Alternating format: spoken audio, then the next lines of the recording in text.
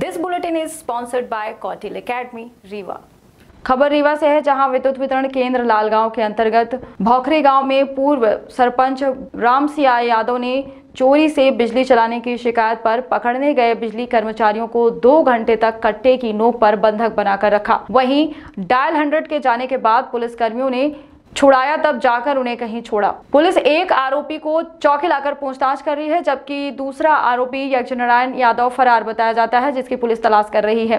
इस मामले में अवैध बिजली चोरी करने पर, पाए जाने पर विद्युत चोरी का प्रकरण तैयार कर एवं एवं कार्यस्थल पर विवाद करने के कारण संबंधित के विरुद्ध एफआईआर दर्ज कराई गई। विद्युत विभाग कार्यपालन अभियंता सुशील कुमार ने सभी अवैध कनेक्शन धारियों को जानकारी दी कि विधिवत कनेक्शन लेकर ही बिजली का उपयोग करें, नहीं तो उनके विरुद्ध नियमानुसार न्यायालयीन कार्रवाई की जाएगी। हाँ ये लालगांव चौकी क्षेत्र के पास, लालगांव के पास का एक गाँव था भोकरी करके गाँव है। वहाँ पर एमपीवी के कुछ कर्मचारी गए थे। एक तो सीएम ऑनलाइन की शिकायत का कुछ था तो उससे संबंध में चर्चा करके उसको बंद कराने का वो कर रहे थे। दूसरा चीज़ था बिल बिल बकाए थे। तो उस संबंध में वहाँ जब ये लोग गए तो कुछ बात विवाद विवाद हुआ। तो उसमें वहाँ लोगों को रोक लिया गया। रोकने के बाद जब इन हंड्रेड डाल को खबर आई तो हंड्रेड डाल ने जाकर उनको मुक्त कराया।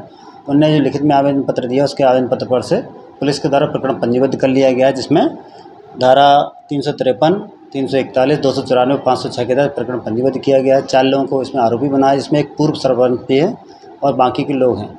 इसमें जो पुलिस के द्वारा भी मामला दर्ज करके इसमें विवेचना की जा रही है, आवश्यक कार्रवाई की जा रही है।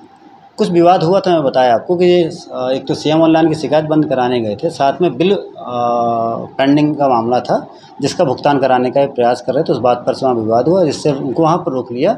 वो आने नहीं दे रहे थे, तब उन्हें हंड्रेड डाल लगाया, पुलिस गई थी। मौके पर पुलिस ने जाकर मामले को सॉर्ट आउट करा दिया। फिर फरियादियों ने जब पुलिस पर शिकायत की तो उन्होंने प्रकरण पंजीबद्ध कर दिया।